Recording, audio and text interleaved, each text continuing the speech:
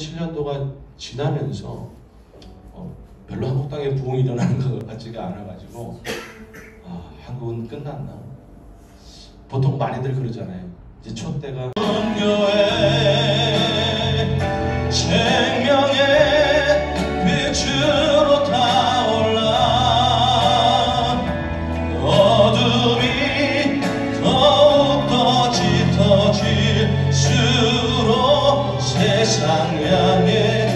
비추게 하소서.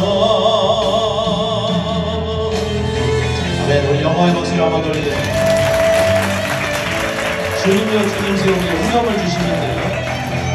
우리 같이 한번 해볼 수 있으면 어렵지 않으니까요. 주님이여 주님이여 주님 세운 교회